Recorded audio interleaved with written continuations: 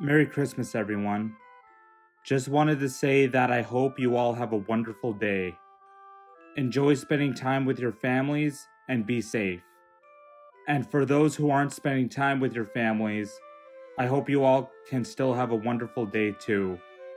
Also, thank you for the Christmas present because this morning I woke up to over 500 subscribers. Best Christmas present ever. Thank you all for watching, and I hope you all had the best Christmas ever.